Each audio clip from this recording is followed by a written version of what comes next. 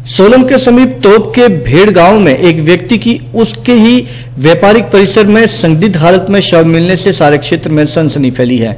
मृतक का शव ढाबे में खून से लथपथ पड़ा था।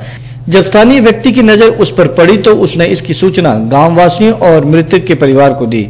पुलिस तुरंत मौके पर पहुँची तो पाया कि मृतक के सर पर गहरे घाव थे।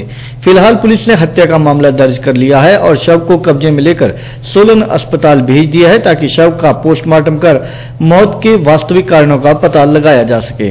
इस बारे में अतिरिक्त जिला पुलिस अधीक्षक मनमोहन सिंह ने बताया कि मृतक के परिजन ने हत्या का अंदेशा जताया है, जिसके चलते हत्या का मामला दर्ज किया गया है और आगामी कार्रवाई अमल में लाई जा रही है।